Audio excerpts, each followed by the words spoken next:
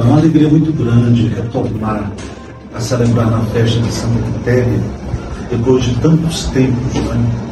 Eu já estive celebrando aqui uma vez, em 2012.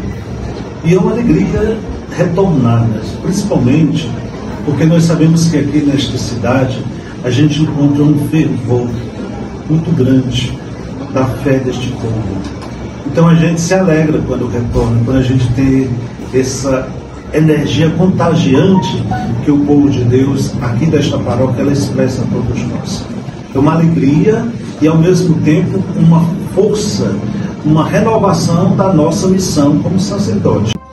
A grande mensagem que eu gostaria de deixar a todos os devotos de Santa Quitéria é esta mensagem de viver intensamente este ano festivo aqui na paróquia. Voltada para o ano da oração, com o tema girando em torno da oração, eu quero dizer a você, devoto de Santa Quitéria, devoto desta excelsa padroeira, que possa cada dia nos dar esse exemplo tão belo que vocês nos dão, sobretudo na forma de celebrar, na forma de viver a fé.